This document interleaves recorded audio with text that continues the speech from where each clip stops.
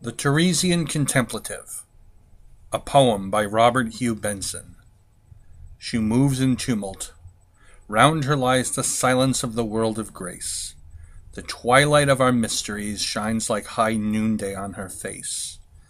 Our piteous guesses, dim with fears, she touches, handles, sees, and hears.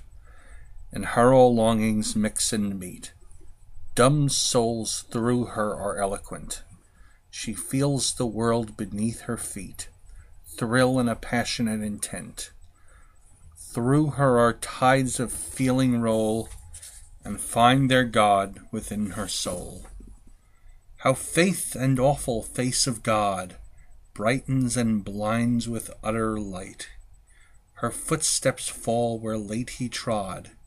She sinks in roaring voids of night, cries to our Lord in black despair and knows yet knows not he is there. A willing sacrifice she takes, the burden of our fall within. Holy she stands, while on her breaks the lightning of the wrath of sin.